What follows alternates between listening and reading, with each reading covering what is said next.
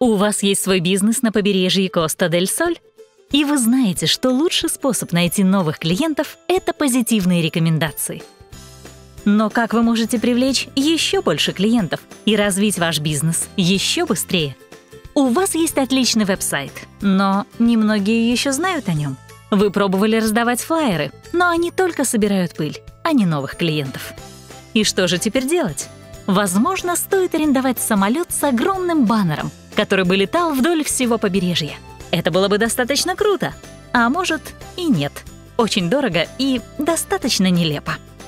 Что если бы вы смогли обратиться к более широкой группе людей на их родном языке и смогли бы презентовать информацию о вашем бизнесе с тем же уровнем доверия, которое вы сможете получить от ваших самых счастливых клиентов?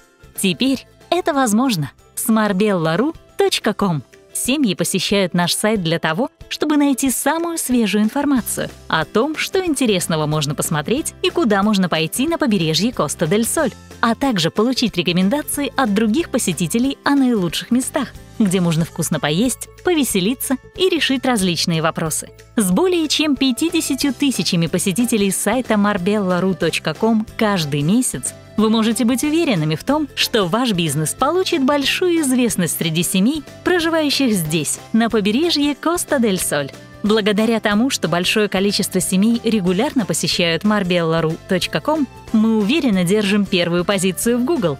Информацию на сайт marbellaru.com добавляют члены местного сообщества. И это как получить рекомендацию от друга, которому вы доверяете.